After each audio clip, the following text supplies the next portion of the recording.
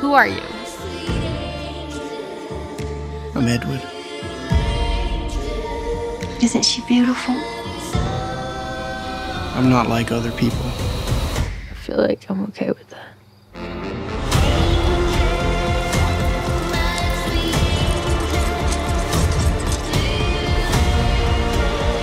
People think he's dangerous. I would never hurt you. You're the only one who understands me.